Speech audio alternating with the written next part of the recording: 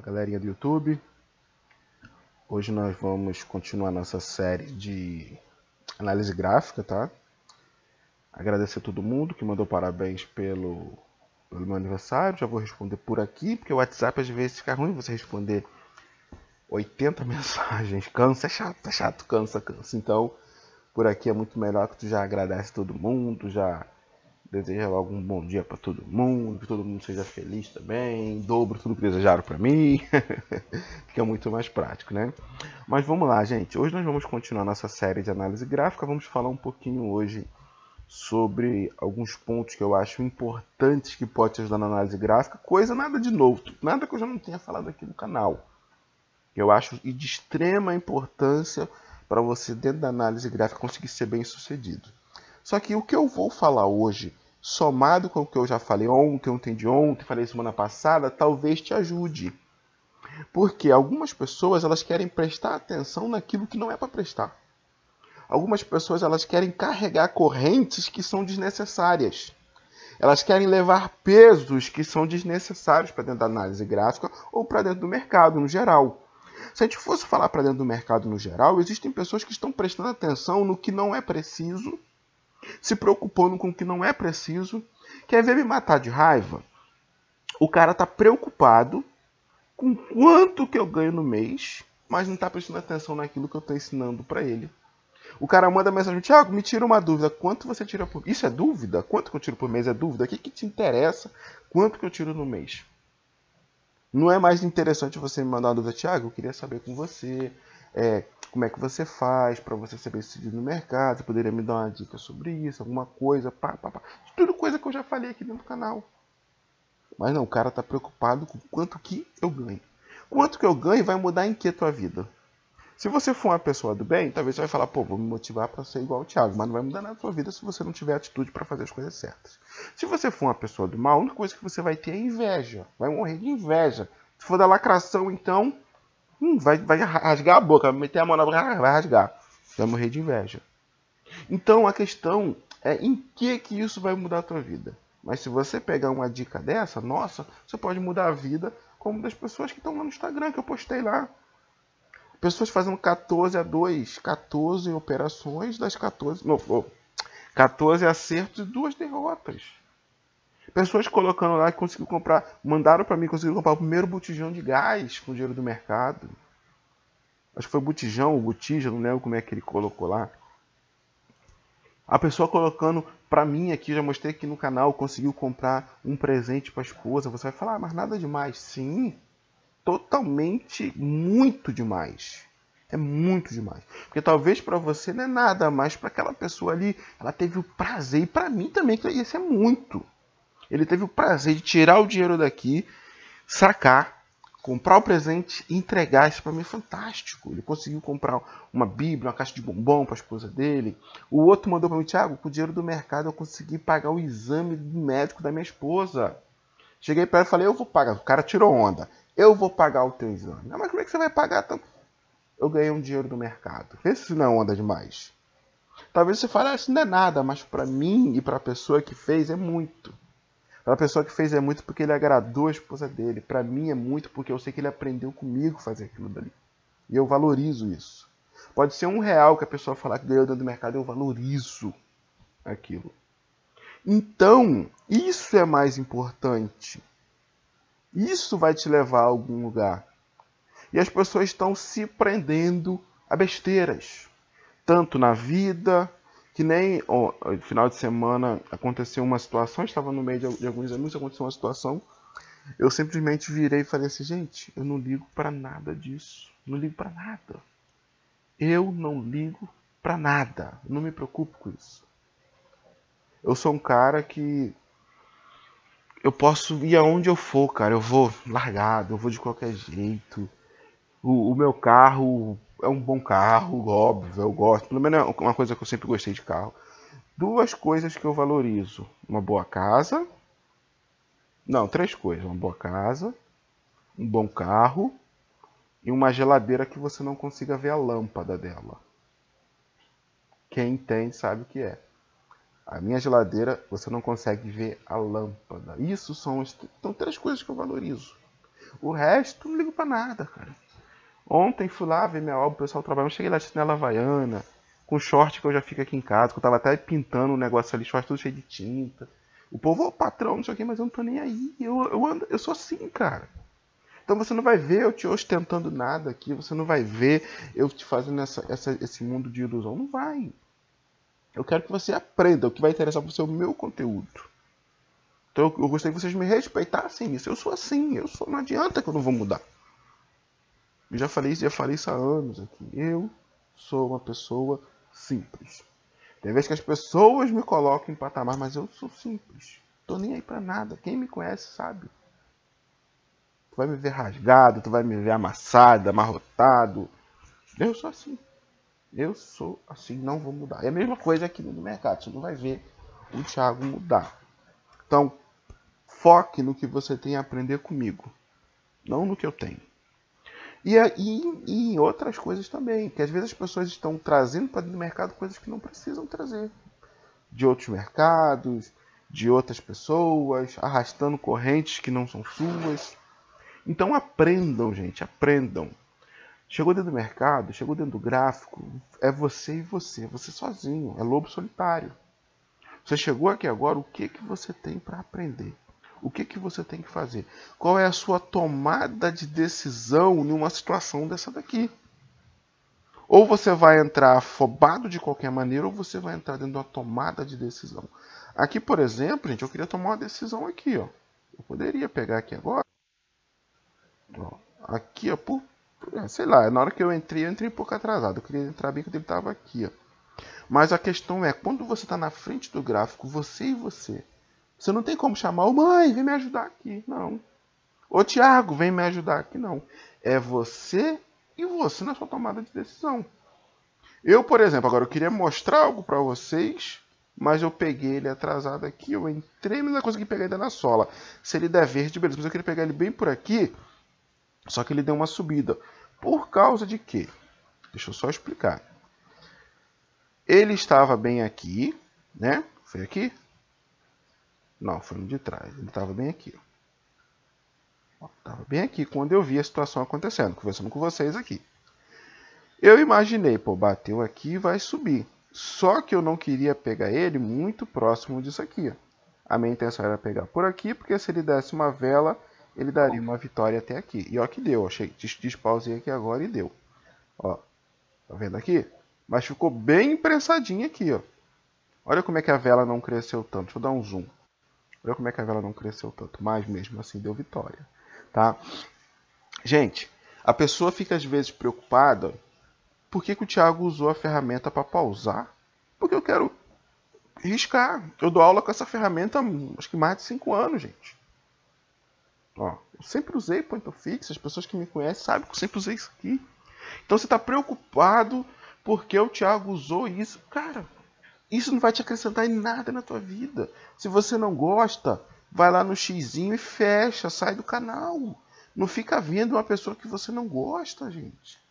E eu já falei para vocês, eu não assisto nenhum canal de trade no YouTube, porque eu não tenho paciência para esses caras. Eu não assisto nenhum. Então, se eu não assisto nenhum, eu não vou lá para criticar o cara, eu não vejo ponto final. Se você está aqui, ô filho de uma égua, e não gosta, sai. Não fica aqui infeliz. Não fica aqui atrapalhando quem gosta, quem curte. Eu quero qualidade. Eu não quero quantidade. Tem 18 mil me seguindo. Se, se mil for tranqueira, vai embora mil, fica 17. Não tô nem aí. Eu prefiro que fiquem as pessoas boas que queiram aprender. Então você entendeu, gente, que dentro da análise gráfica, você simplesmente tem que observar o que é importante para você. Eu costumo dizer que quando eu estou vendo muita coisa, significa que eu não estou vendo nada. Quem já ouviu essa frase minha sabe. Quando você está vendo muita coisa, significa que você não está vendo nada. Ontem um cara mandou um gráfico para mim. Não dava para entender nada do gráfico. Tiago, se acontecesse tal coisa, tal coisa, tal coisa. 300 possibilidades. Eu não vi nenhuma, ele viu 300. Eu falei, cara, tá ruim isso daí. Para que tu vai entrar num gráfico você tá com tanta dúvida assim? Você viu que eu entrei nesse gráfico aqui? Eu só tinha, gente, ó. Meu objetivo era simples. Ele estava saindo daqui, ó, ponto fixo aqui de novo, ó. Ele, Deixa eu tirar um pouquinho para cá para não atrapalhar. Ele estava saindo daqui, ó. E eu estava com a previsão de que ele iria chegar aqui. Queria, quis entrar um pouco antes, mais ou menos por aqui, acreditando que chegaria uma vela. Ele me deu uma violinada, subiu um pouquinho, nós entramos aqui, mas mesmo assim alcançamos o objetivo. Simples. Eu só tinha uma visão do que fazer. Eu não tinha cinco visões. Eu não tinha cinco interpretações. Então, atenção! Observa tudo que pode acontecer, mas você vai tentar pegar o gráfico que tem menos possibilidade de te derrubar. Mas as pessoas querem entrar no gráfico que está com Satanás na frente dele, tudo embolado de ruim. Me entenda com essa interpretação. Tá tudo de ruim acontecendo no gráfico, mas o cara quer aquele gráfico. Eu não sei que pensamento é esse de alguns de vocês. O gráfico está com tudo de ruim, mas o cara quer insistir naquele gráfico. Eu não sou casado com o gráfico. Sou casado com a minha esposa. É ela que eu tenho que aturar. Gráfico não. E ela que tem que me aturar. Ambos, um aturando o outro. Não é o gráfico. O gráfico não tenho compromisso com ele. Esse aqui tá ruim, esse aqui não tá bom, eu mudo de gráfico. Cheguei aqui agora, vou olhar o euro com SD. Euro com SD tá melhor? Ó, euro com SD tá subindo ali, tá fazendo uma, uma acentuada, um acentuado suporte ali, né, um fundo. E o que, que ele está fazendo? Vou traçar aqui, eu não vou nem pegar a linha do, da, da, própria corretora, vou só ponto fixo aqui. Ó. Tá aqui, fazendo uma curva. Essa curva parou aqui, por que, que parou? Aqui já tinha parado anteriormente. Por que, que tinha parado aqui anteriormente? Ó, é uma região. Se eu esticar um pouquinho aqui, você vê que é uma região. Tem pontos de reversão, tem um porquê. Teve uma dificuldade para descer. Esse, ó, tá batendo com esse. Vamos analisar. É viável fazer uma operação? Agora eu já tenho os pontos todos aqui confirmados. Ó. Não preciso nem olhar mais lá, já tenho todos os pontos aqui. Esse aqui ó, já está confirmado aqui embaixo. Esse já está confirmado aqui como um ponto de uma provável reversão. Deixa eu botar uma linha aqui. Ó. Rompeu, rompeu essa região. Está subindo. Aonde que vai? Pode subir pouca coisa aí. Mas também já pode descer, ó. Aqui já é ponto dele descer. Vamos dar um zoom, vamos pegar ele ali em cima. Pegamos ele bem aqui, vamos ver se ele já desce ou se dá ruim pra gente. Ó, tá bem aqui em cima nesse ponto, ó, já subiu, já tá estourando, tá indo fazer a tendência. Ó, tá indo fazer a tendência, vamos analisar até onde que essa tendência pode ir. Ó, aqui já tá uma região bem ruimzinha. E eu acho que este gráfico, se você fosse pegar aqui por trás, você está frito já nele. Porque aqui está muito embolado, tem muitas interpretações, tem muitas regiões, ele pode bater, voltar, reverter. Mas nada que impede a gente de tentar. Falando de gráfico que está estranho, nada impede a gente de tentar. Ó, finalzinho está querendo voltar, ó. Assim como poderia dar ruim, parece estar tá querendo dar bom, mas se você for olhar lá por trás, você não tem um ponto forte, um ponto fixo. Por que, que eu entrei? Entrei baseando aqui e fui ver lá atrás. Mas aqui atrás você já não tem um ponto tão certeiro. Ó. Como é que você vai tirar um suporte e resistência disso aqui? Deixa eu até dar um zoom e trazer para cá. Ó, você tem uma média aqui, ó, aqui, aqui, aqui, aqui. Você está cheio de médias de região. Por que, que eu entrei na reversão? Porque ele tinha rompido aqui e estava mais ou menos por aqui. Ó. Chegou nesse ponto aqui embaixo, ele estourou e pegou aqui em cima. Não fui nem muito lá atrás, como eu falei. Lá atrás você não consegue muita coisa. Tava ruim lá atrás, mas aqui na frente deu bom. Então se deu bom, não vou brigar com a corretora, porque algo que eu achei que ia dar ruim, ela me deu resultado, né? Não vou brigar. Vou ligar lá, que opt, eu achei que ia perder e ganhei. Só se eu for tonto, né? Então, entender ali, né? Fui né, baseei aqui, que lá atrás achei que não estava muito bom, não está muito claro. Um gráfico em si ruim, mas acabou dando bom. É, achei que ia conseguir mostrar algo falando sobre gráfico ruim, mas não deu. Vamos ver aqui, gente. O SDCAD. Porque o que acontece? Eu estou querendo encontrar um gráfico o SDCAD a gente já fez bastante dele. Eu estou querendo encontrar um gráfico que ele mostre erros. Um gráfico difícil, um gráfico com erros. Para a gente poder, é, para vocês aprenderem a pesar se aquele gráfico está difícil, está complicado. Eu quero achar um gráfico, um gráfico bem complicado para a gente conseguir fazer alguma coisa. Vamos pegar aqui e vamos entender aqui o seguinte. Ó. Se a gente pegar este gráfico aqui, USD com CAD, ele está bom ou ele está ruim? Se você olhar aqui, para suporte e resistência, bateu aqui. Tem um fundo aqui atrás, está mais ou menos assim, né? Não está nem retinho, ó. Vem meio que rompeu e depois foi. Se você olhar a tendência, não tem uma tendência clara. Ele subiu, mas subiu ó, com verde, vermelha, verde, vermelha, verde, vermelha, vermelha, verde, verde. Ó, tá ruim. Chegou aqui e fez um fundo. Este fundo, não estou vendo a base dele que tão clara. Estou vendo só desse topinho aqui. Ó. Esse fundo está com o topo. Ó. O fundo está com o topo aqui, beleza. Aqui você vê, ó, verde, vermelho, verde, vermelho. Fez aqui um topinho mais alto. Base dessa galera aqui, ó, mais ou menos isso aqui. Depois desceu, verde, vermelho. Você não vê um fundo tão claro, você não vê um topo tão claro. Você não está vendo um suporte e resistência tão claro. Então eu vou entrar num gráfico problemático assim? De preferência não. Vamos buscar e ver se nós encontramos um gráfico mais claro, ok? Vamos dar uma olhada aqui no GBP, GBP CLF não costuma ser bom, no NZD com SD. É uns, uns que a gente está sempre pegando. Ó, também não está tão bom.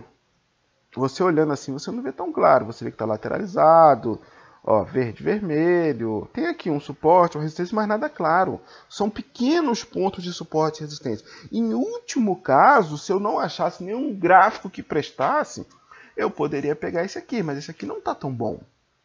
Você não consegue ver ó, um fundo Vamos dar um exemplo aqui, ó. Teve um topo, teve um fundo, um suporte, uma resistência, uma tendência clara. Não tem. Aqui ele fez uma tendênciazinha mais ou menos clara, mas depois, ó, desandou tudo aqui, ó. Então você não tem que tentar evitar gráficos que tragam para você é, essas dúvidas, tá? Não gostei de nenhum desses. Vamos ver aqui AudiCAD. Vamos ver como é que tá. Deixa eu fechar esses dois. E vamos ver o AudiCAD. Também, ó, ó. Tá ruimzinho, tá tudo ruim. Ainda não abriu a Bolsa de Nova York, mas está todos os gráficos tudo ruim, tá muito lateralizado. Então, quando eu trabalho com isso aqui, se eu quero fazer um, um, um suporte resistência, fazer uma tendência, eu tenho que saber pegar gráficos que estejam bons. Porque gráficos ruins assim você pode entrar, mas tem muita chance de perder. A gente está conseguindo pegar alguma coisinha mais ou menos, mas agora parece que está piorando aqui. Vamos tentar. Se der para fazer aqui um suporte e resistência, eu faço. Mas quando tiver muito murchinho assim, ó, não dá. Não consegue tomar uma decisão com gráfico assim. É, vamos ver... Vamos olhando outros pares. Vamos olhar um euro com GBP. Vamos ver se dá alguma coisa. Ó, tudo murcho. Ah, vamos, vamos descer um pouco. Vamos trocar então. Vamos ver aqui. Cadê a família JPY? Áudio com JPY. Vamos ver. Ó, tudo de lado. Todos os gráficos estão aqui ó, muito lateralizados. Então vamos tentar, sei lá, vamos ver aqui alguma coisa. Euro com NZD. Ó, tu vê que tudo tá o mesmo desenho. Tudo lateralizado. Então, vou fazer mais uma aí, pô. Pelo menos tentar deixar um conteúdo para vocês. Mas mostrei gráficos ruins. Quem tá brigando aí, nesse momento agora a maior lição é você ter autocontrole. Porque eu sei que quando abrir Nova York já vai melhorar. Isso aqui não está ruim, não é o dia que está ruim, é uma fase. Talvez a Bolsa de Londres não está segurando o movimento, está bem fraquinho, está bem calmo. Abrir Nova York talvez dê uma agitada mais no gráfico. Só que a pessoa que não tem paciência, o que, que vai acontecer com ela? Vai sair entrando. Eu, eu olhei, acho que uns 4, 5 gráficos aqui com vocês, não vi nenhuma oportunidade. Mas se eu ficar paradinho aqui esperando, vai chegar. Eu, eu não estou perdendo meu tempo, porque eu já olhei e vi que fiz uma média de 5 gráficos que eu olhei, 5 estão ruins, então é uma média. É, uma, é 100% de uma média que está ruim. Então eu espero essa fase passar, romper, voltar a se movimentar, ficar aqui quietinho, vendo o que o gráfico vai fazer. Olho esse, depois volto lá, olho o outro. vou analisando até chegar um gráfico que eu bato o olho nele e consiga tirar uma interpretação bacana. Hoje, neste horário, não estou conseguindo tirar nada de bom aqui, gente. Então você tem que ter essa paciência para parar. Eu tenho que ter essa paciência. Ah, eu estou gravando e quero colocar vídeo, quero colocar operação, mas não está dando. Quando dá, eu coloco. Eu, por ansiedade, eu posso pegar aqui, sair entrando tudo e você vê eu lascar e quebrar minha conta, igual muitos fazem por aí. Só que você não vai ver isso, porque eu paro aqui, ó. Eu prefiro te entregar um vídeo de 10 minutos do que te entregar um vídeo de 30 eu quebrando minha banca. Entendeu? Então paro, analiso, ó, aqui se ele chegar mais um pouquinho, talvez ele me anime a entrar. Ah, Thiago, entra na próxima. Não estou animado ainda. Quero ver ele descer. Se ele descer bem aqui, talvez nessa região aqui, eu já posso me animar. Ó, mais ou menos por aqui, assim, ó, eu já posso talvez me animar. Não quis entrar na tendência porque não confiei no movimento. E vamos ver se ele chegar por aqui, talvez na próxima. Então, talvez a gente finalize esse vídeo com uma derrota. Ou finalize aí com mais uma ordem certeira. Vamos ver. Ó, reverteu. Mas eu não sou adivinho, eu sou um analista. Ó, foi lá em cima. Agora lá em cima talvez eu já consiga achar alguma coisa mais clara. Só com uma linhazinha eu vou brincar aqui, ó. Com uma linha eu vou trabalhar. Ó, rompeu, tá chegando ali, ó, tá vindo buscar dessa galerinha. Vamos ver. Vamos ver onde que ele vai. Recuperou o espaço dele. Se manter ali, oh. Peguei bem lá em cima, mas a ordem me jogou lá embaixo. Mas tá, vamos ver. Ó o risco, ó tá subindo, tá descendo. Eu tinha pego ele aqui, ele foi inventor de movimentar. Mas não é um gráfico. Você olhou isso aqui, isso aqui não tá lindo, gente, para se operar. Isso aqui não é um gráfico bom de você operar. Tá ruim? Tenha essa paciência, cara. Para. Não precisa mandar para mim a foto. A gente manda pra minha foto um gráfico ruim que é que eu tire a interpretação disso. Para mim, gráfico ruim eu pulo fora. E sempre falei isso. Então não adianta você vir com um gráfico horrível e querer que eu tire alguma coisa daquilo. Ah, Thiago, eu perdi, por que, que eu perdi? Aí no dia de hoje, o, o pessoal que vai insistir vai perder, vai se achar um merda, vai se sentir um perdedor, aí começa a mandar para mim. Ai, Thiago, eu estou decepcionado com o mercado. Ah, Thiago, eu estou deprimido. Ó, perdi, tô tranquilo vi aqui que eu tinha colocado. Se ela entrasse bem aqui em cima onde eu coloquei, tinha dado bom. Ela me jogou aqui embaixo, então acabei perdendo. Mas eu estava analisando essa região. Aqui era a minha análise, para vocês verem. Gráfico ruim vai te dar porrada. Aí no dia de hoje você se sente um merda. Ah, eu tô, eu tô perdendo. Como ontem o menino mandou para mim, eu não tinha, não tinha nem o que, que eu faço. Ah, Thiago, tô acompanhando teu vídeo no YouTube, mas eu perdi, quebrei minha banca. o que, que eu vou falar pra um cara desse? Se eu já falei pra ele, tá ruim, não entra. Eu falo pra todo mundo aqui, ó. Tá ruim, não entra. Tá na dúvida, não entra. O mercado tá difícil, espera. Dá uma pausa, volta depois. Tudo isso já foi falado. Só que se a pessoa não faz, o que, que o Thiago vai fazer por ela?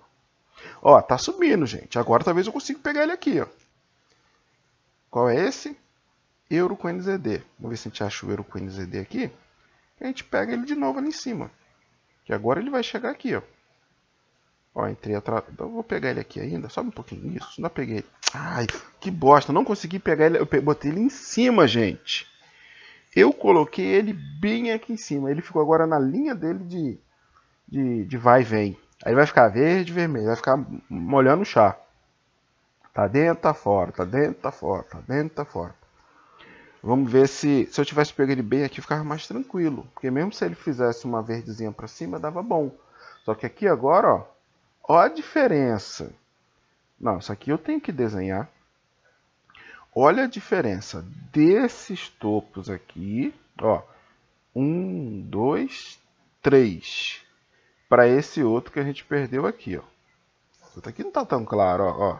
Duvidoso, ó. Aí vem aqui esse outro aqui atrás. Olha o efeito disso. Só que eu quis entrar. E olha a diferença. Isso aqui não está muito mais claro. Não está muito mais claro esse aqui do que esse outro que eu fui. Esse aqui está mais bonito. Então aqui nós conseguimos fazer alguma coisa. Não precisei esperar muito. Esperei um pouquinho, o gráfico foi lá e chegou. Eu não gosto de ficar esperando porque tem outras oportunidades. Mas se eu fui em todas as oportunidades e estou achando que todas estão ruins, para que, que eu vou ficar insistindo? Vamos ver se a gente acha mais uma aqui, de uma daquelas que a gente já passou, se dá bom. Se não der, a gente, sei lá, tenta esperar mais um aí. Para ver se mais um dá bom. Ó, a gente tinha marcado alguma coisa nele? Não lembro. Devíamos ter marcado alguma coisa aí. O que está acontecendo? Ó, rompeu aqui. Deixa eu aproveitar essa linha. Ó, aqui, tá chegando aqui agora. Pego ele nesse fundo, gente. Vamos pegar ele. Ai, desceu de novo. Hoje tá, tá enjoado, tá enjoado esse negócio hoje. É, peguei ele nesse fundo, ó. Deixa eu só desenhar o que, que eu peguei. Ó, fez aqui, peguei nessa base. Rompeu. Acreditei que quando subiu virou resistência. O que era suporte vira resistência, não deixa passar. Só que eu dei a ordem, conversando, perdi o time e peguei ela um pouquinho mais embaixo. Vamos ver se ainda dá bom. peguei ela um pouquinho atrasada aqui, ó. Deixa eu dar um zoom para vocês verem. Olha, eu não peguei ela na abertura exata. Peguei aqui pouquinha coisa. Eu queria ter pegado ela um pouquinho mais em cima. Porque como eu joguei para reversão, eu tinha tentado pegar ela aqui, ó. Só que ela foi, pum, demorou um segundinho, mas me deu ela na abertura, né? Não era nem aqui, não foi nem aqui o erro, o meu erro foi aqui, ó. Eu queria ter entrado com ela um pouco acima. Aí só que eu, eu demorei e peguei ela na abertura. Mas pelo jeito deu certo. Tá vendo como é ter paciência? Eu perdi uma ordem só por não ter paciência. Mas eu não entreguei a banca, ó. Foi uma ordem por não ter paciência e querer mostrar algo para vocês. E aquele cara que não teve paciência que entregou a banca inteira? Foi entrando, entrando, entrando. Não. Parou, respirou. O que, que eu estou fazendo? Eu não amo dinheiro, mas eu amo a vida que, que, que ele acaba me proporcionando. Eu acabo amando aquilo ali. Entendeu? Então você tem que pensar, pô, quando eu estou perdendo dinheiro, eu estou perdendo alguns prazeres que ele poderia me dar. Que prazeres são esses? Um hobby que você gosta de fazer, um passeio, uma viagem, talvez comer em um bom lugar. Você fala, não, eu estou entregando ele, eu estou entregando os meus prazeres. Começa a não ver dinheiro como papel, começa a ver dinheiro como prazeres que ele vai te dar. aí você começa a pensar, poxa, se eu torrar esse dinheiro todo, se eu quebrar minha banca, eu não vou poder fazer aquele passeio que eu queria se eu quebrar minha banca, eu não vou poder me reunir com os meus amigos e, e tal. Eu sou um tipo de pessoa que quando eu chego em algum lugar, eu tento curtir o melhor daquilo ali. E, e, o dinheiro ele vai te proporcionar isso. O dinheiro ele não te traz felicidade. Eu posso dizer que o dinheiro ele não te traz saúde, mas ele te ajuda na felicidade. Saúde o dinheiro não vai te trazer, mas na felicidade ele te ajuda muito. Porque eu acho que a única coisa que faz uma pessoa ser infeliz é a doença. Ele está doente, a dor, aquilo ali, nada vai superar. A falta de paz, a falta de Deus no coração, isso aí nada vai superar. Mas, poxa, se você está com dinheiro, você está no meio de pessoas, você passeia, você, você ele, ele, traz ali a, a, felicidade. Ele não vai te dar paz, ele não vai te dar é, saúde, como eu já falei, entendo bem. Não sou eu adoro do dinheiro, eu adoro a Deus. O dinheiro para mim, eu piso nele, eu mostro para ele quem manda sou eu. Esse tem que ser o teu pensamento com o dinheiro. Mas quando você chega aqui na frente do mercado, você tem que pensar, poxa, se eu torrar, torrar tudo aqui, eu não vou conseguir proporcionar uma vida melhor para minha família. Se eu torrar tudo aqui, eu tô estragando aquilo que eu conquistei. Então, tem que ter esse pensamento. para um pouquinho, penso, vamos analisar, ver se tem mais um, se der mais um a gente faz, se não der, a gente para com, com essa, essa vitóriazinha aqui, tá? Vocês viram que estava ruim, estou mostrando para vocês situações mesmo aí ruins e elas se melhorando, né? Pronto, vamos no AudiCAD, vamos dar uma olhadinha nele. Deixa eu configurar aqui para um minuto para a gente conseguir ver o que ele está fazendo. Lembrando que é a última tentativa de achar um gráfico bom. Se a gente não achar, a gente para por aqui, tá? Ó, esse aqui parece que está ficando bom. Tô querendo vir buscar aqui em cima, veio tocar. Será que dá? Perdendo ou ganhando, a gente finaliza por aqui, tá? Queria eu terminar com uma vitória, mas se der ruim, mas eu vi aqui, ó. Ó, qual foi, qual foi meu critério de entrada, gente? Aqui, ó. Ele veio aqui bem próximo e eu já tinha encontrado aqui a região, ó. Pelo corpo ela tá dando aqui, ela tocou nessa região, desceu. Quando ela desceu, eu tô acreditando na tendência, porque eu ainda tenho um espacinho, não tem nada muito claro aqui, ó. Se você olhar, ela pode vir aqui, pode vir nessa média aqui. Tá muito feio, tá muito feia a situação do gráfico. Pode vir aqui, mas quis arriscar. Ó, entrei bem colocado. Entrei um pouquinho, até se ela fechar aqui verde ou fechar um doji, eu ainda tô dentro, que eu entrei bem colocado aqui em cima. Vamos torcer para que esses 10 segundos voem, passem mais rápido do que não sei o que, para a gente poder conquistar essa vitória e fecha por aqui. Não vou arriscar mais, tá bom? Cinco entradas, fizemos essas cinco entradas aí. Foi dificuldade, o gráfico hoje não estava para para peixe. Amarelo tá para peixe, mas vocês viram aqui, né? O que, que aconteceu, gente? Eu dei um zoom sem querer. O que, que eu fiz aqui? Como é que eu diminuo isso? Apertei aqui o botão sem querer. Ah, pronto. Então vamos lá, ó. Vocês viram aqui que o gráfico buscou aqui em cima. Eu tinha visto e traçado isso daqui eu acreditava que ele ia vir preencher a sombra aqui em cima. Eu até falei, ah, vou traçar essa linha aqui em cima. Mas quando eu vi que ela bateu aqui recolheu, eu bati o olho e consegui... Eu tirei meio que uma média no olho dessa região aqui, ó. Vi que ela tinha tocado, acreditei na tendência. Mas eu não sei até onde essa tendência poderia ir. Porque tá muito feio. Olha isso aqui, cara. Não tem como você traçar um suporte e resistência e nem fazer tendência com um gráfico assim. Então eu fui ali, ó, peneirando. Hoje, eu acho que muita gente vai quebrar a cara nesse, nesse horário com o gráfico. Tem muita gente quebrando a cara. Não vou mentir, tem muita gente quebrando a cara hoje porque o gráfico tá ruim e a pessoa não sabe esperar. Então, tudo aquilo que eu falei de gráfico, parece que quando eu comecei a falar de gráfico ruim, gráfico ruim mesmo. Então, isso é importante para você. Tome essa lição.